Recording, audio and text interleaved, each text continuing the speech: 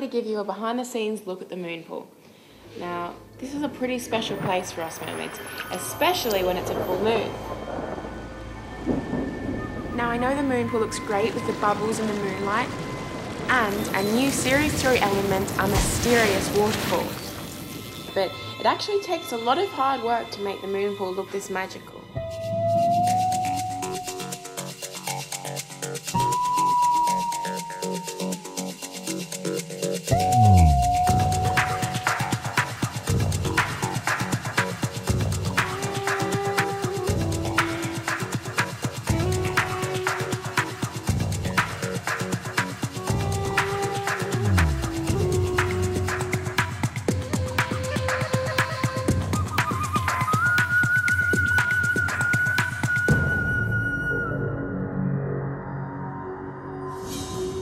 Torpedoing into the moon pool through an underwater cave is normal to us mermaids in the show, but in real life, it's a bit different.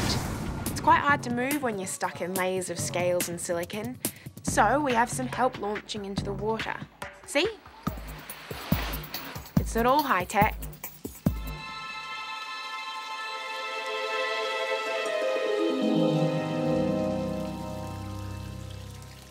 To create the world of H2O, the show was filmed at locations which are handpicked from all over the Gold Coast, from the waterways and beaches to the rainforests which make up Mako Island.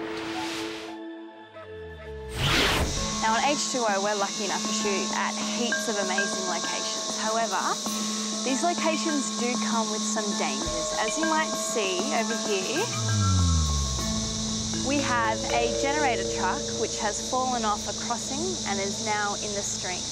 We've got trucks stuck on the other side and I think they're bringing in a crane to get this out.